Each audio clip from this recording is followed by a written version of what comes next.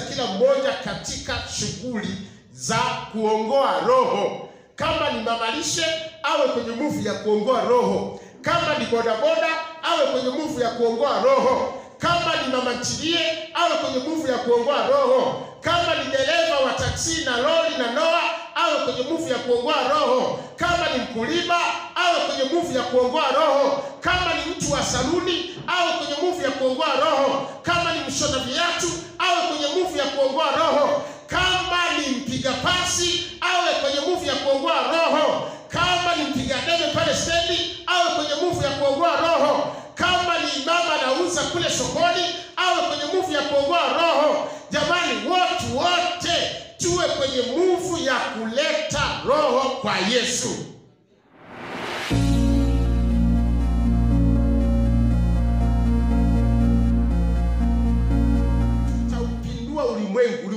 Wetu hapa ni hapa Mamsera, ulimwengu wetu ni hapa Kamwanga, ulimwengu wetu ni, ni hapa Keni, Mengwe, ulimwengu wetu ni hapa.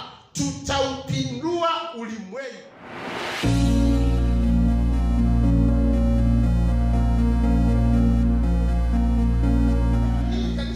Serious sana, pesa ikipotea ikipotea pesa hapa baraza la kanisa, Pastor Temba atapata shida. Pastor, hela imepotea, tukae baraza. Lakini leo wakipotea watu baada ya kubatizwa, hakuna anayeumia. Mzee mgani? Hamna, hakuna anayepata tabu, maana aingie asiingie, shauri yake. Na kama kuna maeneo ambayo watu wanatakiwa watunzwe ni Rombo, maana Rombo watu wakibatizwa tunawabatiza kwa shida na wanakutana na misukosuko mingi ya kufukuzwa na ndugu kwa sababu ya ibada. Kuna watu wana, wanaachwa na waume zao.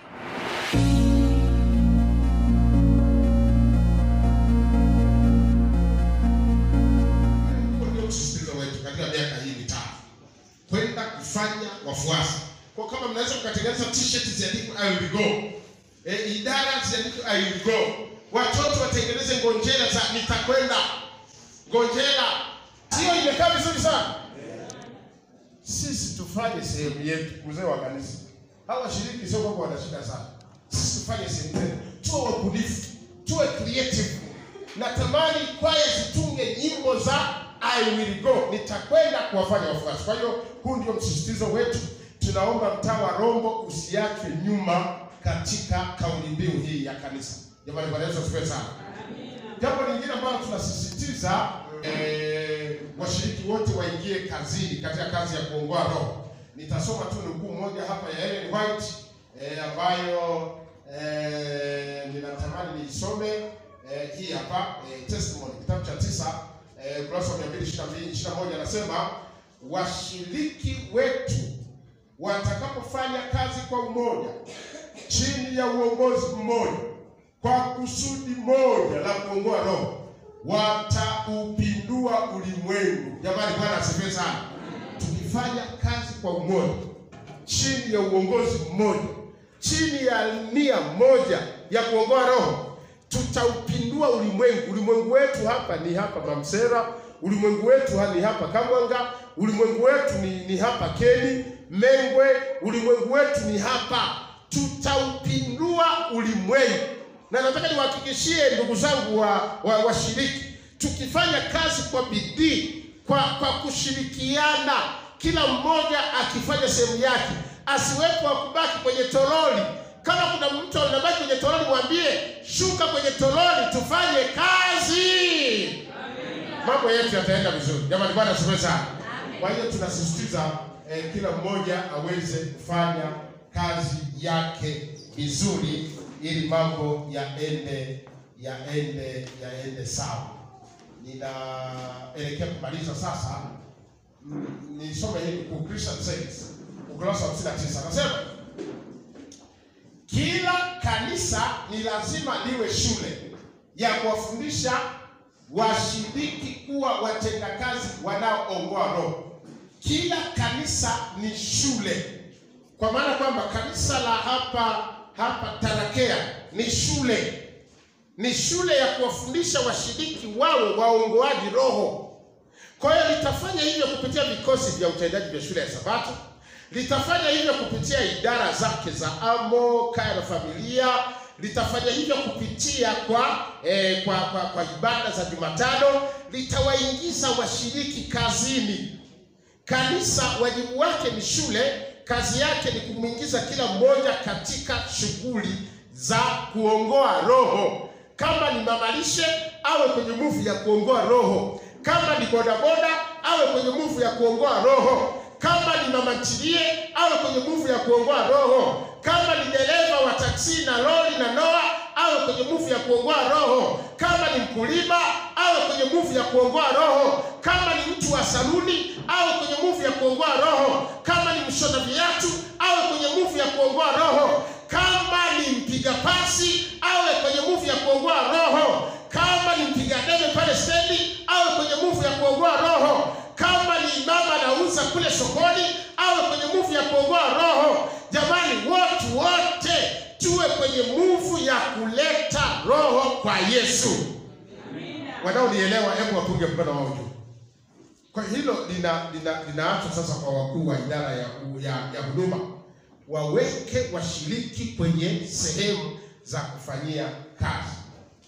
E, baada ya hapo e, nafikiri TMY tumeshaisema ndio hiyo ya e, watu watu wote, na tunachokiangalia hapo sasa ni kwenye hii ramani. Tazame vizuri, hatuangalii kwamba Rombo ina Waadventista wangapi. Tunachoangalia wenyeji wa Rombo ni wangapi.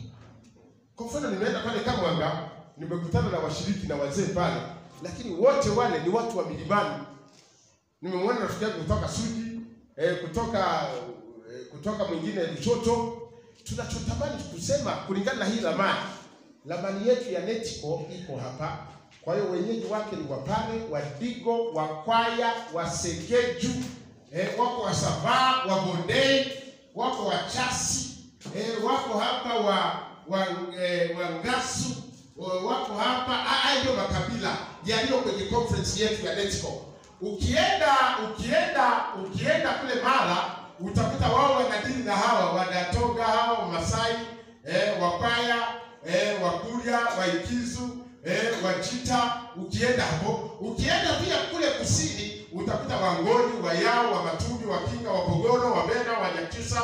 Ukienda pia kule utakuta Waha, Wanyawezi, Wamanyema, Waviza, Waluga, wa, wa, Wabembe na na kadhalika. Ukienda katikati utakuta Wanyiramba, Waisanzu, eh, Wagogo, Wanyaturu, Wahe na kadhalika. Ila sisi tunachosema ili tuseme injili imeenda kwa Septemba, tuone Wachaga wamejaa kanisa. Jamani, kwa Yesu asifiwe sana. Tuone, juzi tulienda kule Simanjiro. Eh, wenyeji wa tunakuta kule kuna wapale tu na Wasukuma. Ah, ah, hapa injili bado. Ili sisi tuipinde injili, lazima tuone wenyeji wapo. Ndio tunasema hii injili imeshaenea.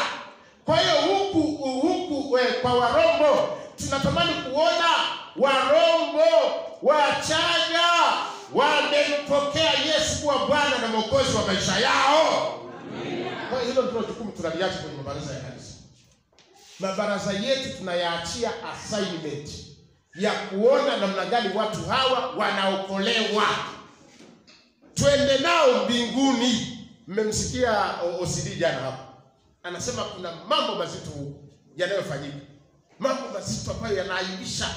Ni wajibu wetu sisi kama kanisa kuhubiri Injili, watu waokolewe, waachane na matendo mabaya, twende mbinguni kupumzika. Jamani, Bwana asifiwe sana. Kwa hiyo hii ndio picha tunayoisema, kila mshiriki aweze kuwa muungwaji wa Roho. Na kwa nini tunamtia moyo kila mshiriki afanye kazi? Kwa sababu eh, eh, tulipokuwa watoto tulikuwa tunasema I am too young to think about God. Mimi nime bado ni mtoto mdogo na muda mrefu. Eh, bado kijana huyu anasema too self sufficient. Nimeteseka nime nimetosheka sana kufikiria habari za Mungu. Mwingine too much. Nina furaha sana ku eh, kufikiria habari za Mungu. Mwingine anasema mimi bwana ni too busy to think about. Mimi niko busy na mambo mengi.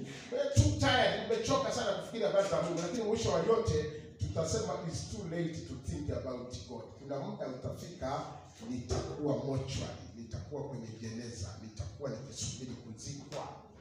Na ndio maana tunasema kama kuna muda wa kumtumikia Mungu ni sasa, nikiwa bado na nafasi, sasa hivi nikiwa bado ninapumua.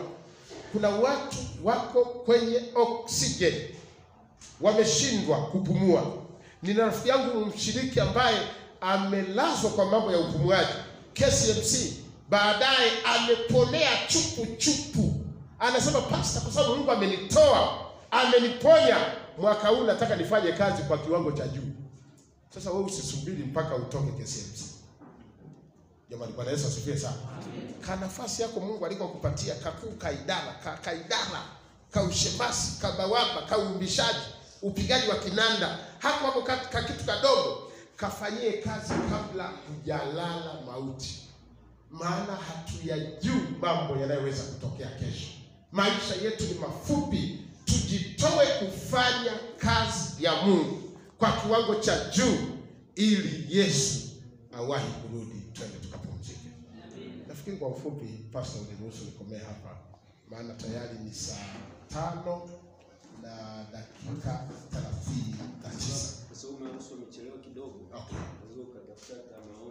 Basi maswali machache eh, eh, nafikiri waendelee kuchelewa eh, ili niendelee. Ngoja nikazie hii na malezi, alafu nitaruhusu maswali mawili matatu. Msisitizo wetu wa kanisa kwa sasa ni kuwasaidia washiriki waweze kupata malezi yao ya kishiriki. Malezi, naposema malezi namaanisha tunabatiza watu wengi alafu asilimia arobaini wanatoka. Hizo ndizo statistics za sasa hivi. Tukibatiza watu kumi, wanne wanapitia mlango wa nyuma wanatoka. Tukibatiza watu mia moja, watu arobaini mzee wa kanisa wanapotea.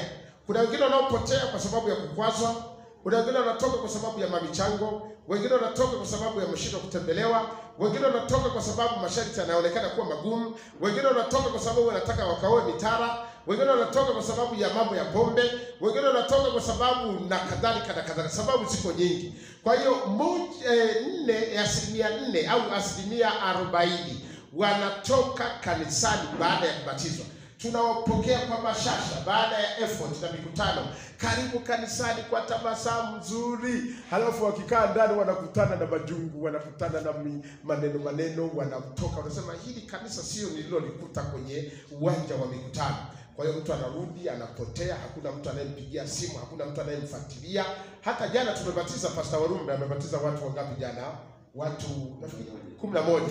Unaweza ukashangaa sabato ijayo e, wamerudi watu watano, wengine hawaonekani.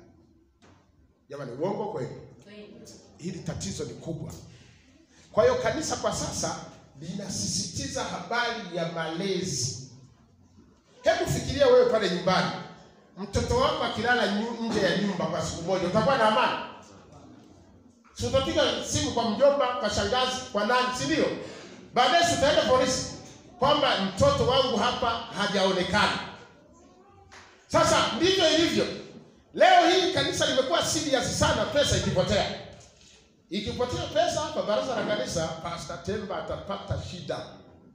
Pastor, hela imepotea, tukae baraza. Lakini leo wakipotea watu baada ya kubatizwa, hakuna anayeumia. Mzalia mgani? Hamna, hakuna anayepata tabu, maana a aingie asiingie, shauri yake. Na kama kuna maeneo ambayo watu wanatakiwa watunzwe ni Rombo, maana Rombo watu wakibatizwa tunawabatiza kwa shida, na wanakutana na misukosuko mingi ya kufukuzwa na ndugu kwa sababu ya ibada.